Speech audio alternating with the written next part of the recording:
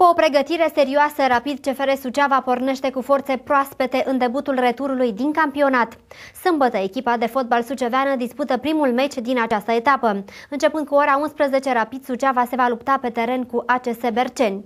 Antrenorul sucevan al Rapidului Bogdan Tudoreanu este conștient de importanța meciului și consideră că această deplasare pe terenul celor din Berceni este una grea. Totuși are speranțe că pot câștiga, având în vedere componența lotului sucevan plus jucătorii noi veniți la Rapid CFR Suceava. Ca și pregătire am făcut una bună, ne-au lipsit uh, terenurile, am făcut mai puțin cu mingea, sper ca lucrul acesta să nu se vadă în, în jocul echipei.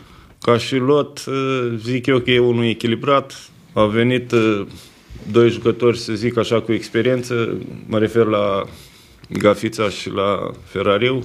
Au venit și copii, Băgu, Arătăriții, deci copiii de viitor care sperăm să impună și să facă o figură frumoasă în acest tur.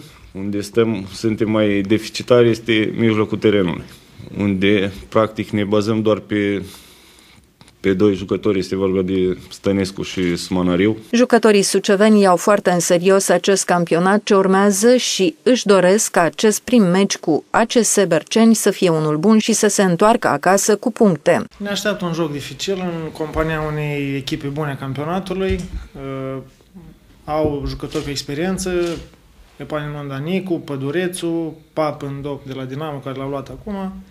Dar sperăm, în urma pregătirii pe care am făcut-o și în urma cantonamentului pe care l-am făcut la Poiana Negri, să venim cu un rezultat bun, măcar cu un punct și de ce nu poate cu toate cele trei.